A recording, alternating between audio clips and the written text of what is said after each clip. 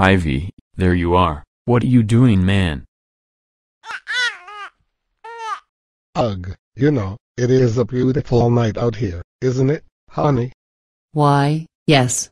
It is. How are you doing, Ivy? That's wonderful, Ivy. Are you ready to see fireworks? Oh yes, because they're really big, big. Okay, okay, Ivy. Don't get too crazy, because if you do, you will be grounded for a month, and next year's 4th of July, you will stay in the house and only, what is your nickname? Fist. Fist will only come and both of us will come. Me and your dad. Don't cry, Ivy. Look mommy, fireworks.